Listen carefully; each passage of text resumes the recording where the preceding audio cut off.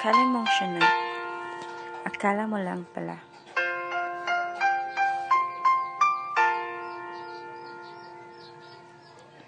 Minahal mo siya, minahal ka niya. Pero sa pagmamahal na yun, pareho kayong natatakot mawalaan sa isa't isa.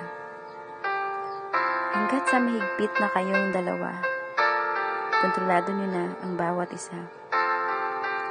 Dapat may susundin, dapat may bawal at limitasyon sa iba. Hanggat sa hindi na mamalayan na hindi na pala kayo masaya. Sa kung anong nangyari at sa kung anong meron kayong dalawa. Hindi na pala pagmamahal ang nag-uugnay sa inyo, kundi takot. At sa takot na yun, pareho kayong nawalan ng tiwala. Nagkakalabuan at hindi nyo na kinaya. Isa sa inyo nagdesisyon na aayaw na. Aayaw na sitwasyon na hindi na masaya. Sa relasyon na hindi nagagana. Alam nyo naman kung sino nagkamali. Kung sino ang nagkulang at kung sino ang nanalo. Pareho kayo nagmamahalan sa ibang paraan. Paraan na dapat siya ay sa'yo lang. Ika nga ng iba, huwag mong gawing mundo ang tao lang. Huwag mo siyang mahalin na parang droga na isang araw na aadik ka na lang. Too much love will kill you. But too much love will hit you too. Papasukin mo siya sa puso mo. Hindi sa kulungan na hindi malaya sa kanyang gusto. Mamahalin mo siya ng gusto, pero hindi sa pagmamahal na para kang pusong bato sa ibang tao.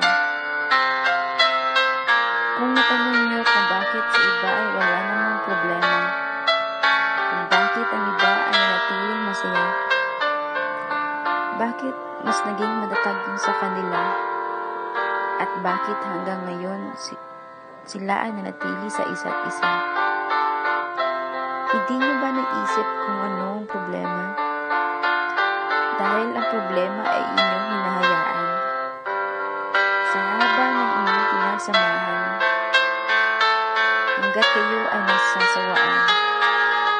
Kaya ngayon ay naghihiwalayan at lahat-lahat ay tuluyan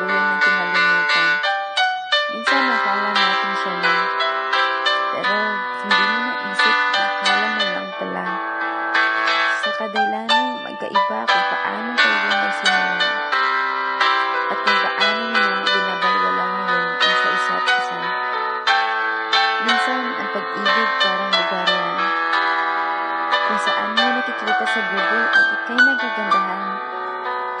Kaya ikay napaplano na ito'y puntahan hanggat sa ikay nakarating at nakita mo ang katotohanan.